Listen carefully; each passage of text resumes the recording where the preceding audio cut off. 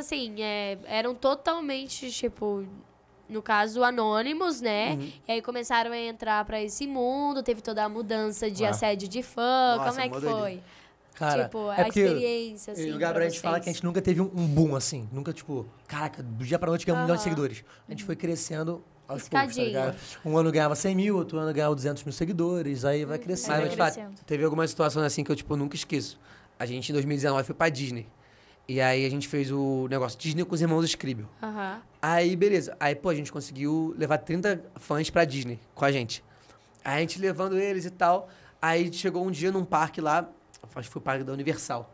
Foi. Que a gente saiu do brinquedo, no que a gente saiu do brinquedo. Tinha mais, de, sei lá, umas cinco excursões, assim, na porta Escola, do, né? De na escola. porta do brinquedo. Cara, começou. Três, quatro, cinco tirar foto. Do nada, quando a gente vai ver uma multidão de gente vindo tirar foto com a gente. Modo o segurança do parque, tipo, Que sem entender é. nada. Acho que a tá primeira vez que a gente realmente falou assim, caraca, deu certo. Aí a Rexiona chamou a gente pro, pro show do Nile United, que teve no Rio. Foi o primeiro show do Now United, assim, tipo, no Rio de Janeiro. Aí chamaram a gente. Aí a gente chegando, aí eu, eu liguei pra mulher da Rexona e falei, ó, chegamos aqui e tal, tudo certo, por onde a gente entra. Ela, ó, pode ficar esperando aí na, na entrada, que eu já tô chegando pra buscar vocês pra gente Só entrar. que tinha um mar de gente assim, ó, um mar de criança assim no... no- Imagina, Na na fila United Rio. ainda. Nossa Aí a gente Senhora. chegou lá de boa, aí veio uma pedir pra tirar foto, Aham. duas pedir pra tirar foto. E depois que a E uma primeira encoraja a outra. pede, É, eles vão é. se encorajando, eles perdem a vergonha aí começa. Aí começou a vir um, dois, três, quatro, cinco, a gente vai ver, mano, um mar de gente pedindo pra tirar foto, mó doideira. comia, né? Aí Já comia, foi já. ali que eu olhei e falei, mano, caraca, o Foi a primeira vez que o segurança teve que tirar a gente do lugar que tava, tipo, realmente causando Tava. muito tumulto. É, aí eu falei, caraca, ali o negócio, o negócio virou.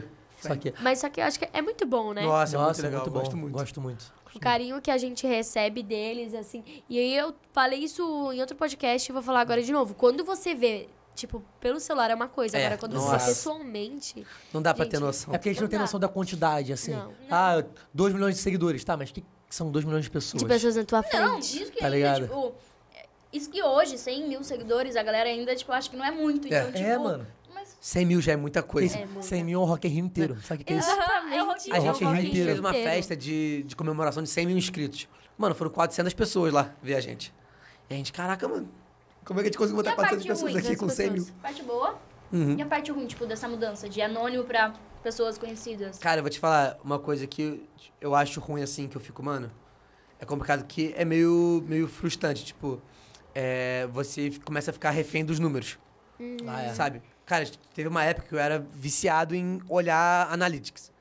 Eu ficava lá, atualizando. Atualizando. É, Nossa, influenciador. subiu, Qualquer subiu dois, dois negócios. Aí se eu Caraca. perdia três, eu já ficava maluco. Ah, perdi 3 seguidores. Meu Deus, o que eu faço agora? O mundo vai acabar. É. Aí você vira refém dos números, cara. Isso aí é muito ruim. Nossa, porque depois você tem um começa- vídeo, deu pouco view. O que, que eu faço agora? Aí começa a ficar E desesperado. aí começa a ficar Aí desesperado. É. fica maluco. Acho que essa, essa é a pior parte, assim, porque você vira refém dos números. Porque é o seu trabalho, então você trabalha com isso. E se você não tem números, você começa a ficar maluco. Exatamente. Você fala, caraca, tudo que eu sonhei vai dar errado.